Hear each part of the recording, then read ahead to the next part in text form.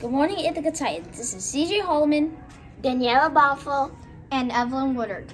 Welcome to the morning news. Today is Friday, January 28, 2022. At this time, please stand for a moment of silent reflection.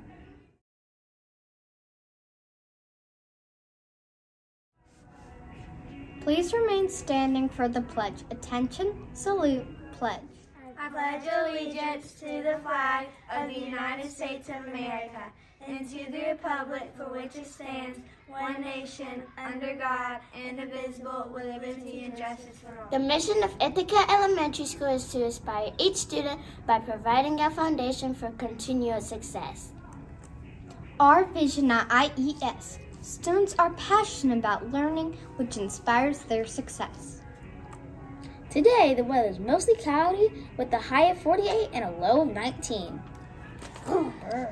Happy birthday, Titans! Today we are celebrating the birthday of Tyler Cole, and this weekend we will be celebrating the birthdays of Ugana Arakpo and Caden Ross. We hope you guys have a great day! Now time for your tag grids. If you hear your name, please go to the front office after announcements for a prize. Jake Nolan, fifth grade, awarded by Miss Wilkie. Jake Jones, pre-K, awarded by Miss Leah. Libby Cochran, fifth grade, award by Miss Laura, and Evie Kindergarten, award by uh, Miss Michelle. Malia Ch Champagne, kindergarten, award by Miss Beth, and Jenny, third grade, award by Miss Jarrett.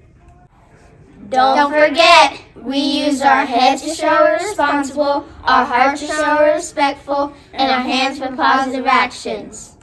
This has been your Titan News Crew. Have a fantastic Friday. It's go time, and we are it.